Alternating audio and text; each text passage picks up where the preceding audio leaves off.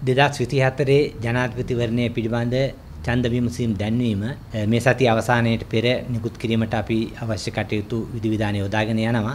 ඡන්ද විමසීමට දාල වෙන මූලික කටයුතු මේ වන විට තිවරණ මහලේකම් කාර්යාලය සහ අපේ මැතිවරණ කාර්යාලවල දැන්ටත් ආරම්භ කරලා ඒ අවශ්‍ය කටයුතු කරගෙන යනවා. මේ වන විට පොලිස් පොතවලට අතුරු තහනම් නියෝගයක් අධිකරණයෙන් ලබා දීලා තියෙනවා. මේ මැතිවරණ රාජකාරී සඳහා මේක බාධාවක් වෙයිද? මම හිතන්නේ ඒ විදිහ අතුරු තහනමක් යෙදලා තියෙනවා නම් මේ කටයුතු කරගෙන යාම සඳහා වැඩ බලන පොලිස්පතිවරයෙක් ඉදිරියේදී පත් කරයි. ඒ අනුව අපිට ඒ පත් කරන පොලිස්පතිවරයා සමග අදාළ කටයුතු කරගෙන යනවා. ඊදන් සම්බන්ධයෙන් විවිධ පුද්ගලයන් විවිධ මත ප්‍රකාශ කරනවා. ඒ සම්බන්ධයෙන් මැතිවරණ කොමිසමේ අදහස මොකක්ද?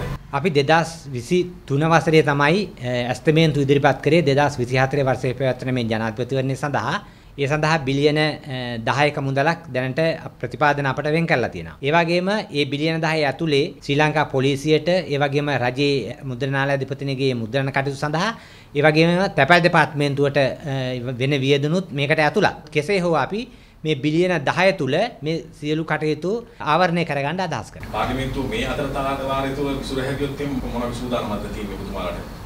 මේ සතිය අවසානයේමට පෙර අපි ජනාධිපතිවරණය සම්බන්ධයෙන් දිනවකවානු දැනුම් දෙනවා. ඔබ සඳහන් කළ ආකාරයේ අහඹු සිදුවීමක් සිදු වුණොත් ඒ සම්බන්ධයෙන්ුත් ඒ අවශ්‍ය කටයුතු සියල්ල සිදු කරන්න කොමිෂමන්ට හැකියාව තියෙනවා. තියෙනවා. එකම දිනේ නෙමෙයි ඒ සඳහා සුදුසු දින යොදාගෙන ඒ කටයුත්ත කරන්න හැකියාව තියෙනවා.